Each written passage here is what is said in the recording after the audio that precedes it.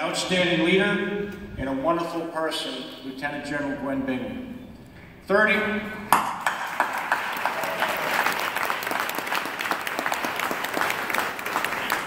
Thirty-eight years of distinguished service to the nation.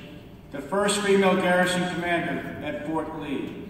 The first and only female quartermaster general and commandant Quartermaster School, the first female commanding general of White Sands, mm -hmm. the first female commanding general for the Tank Automotive and Armaments Life Cycle Management Command, mm -hmm. combat tours during Operation Iraqi Freedom and Operation Enduring Freedom. I could stop right here on Gwen's incredible career, but I would suggest there is much more to her as a person.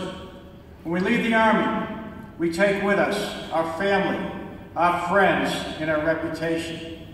What remains is our legacy earned by the countless soldiers we mentored and coached.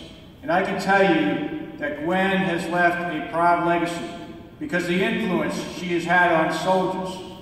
In fact, my Lottie speechwriter pulled out her Bingham's top 10 plus 4, and I have a copy right here. And she's been carrying around for years. That's the impact that Gwen has had on so many soldiers, non-commissioned officers, and officers. You've really done a remarkable job, job Gwen, and had an incredible impact for our soldiers. So thank you again.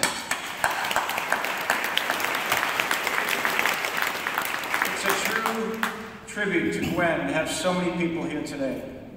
I'd like to recognize some special guests.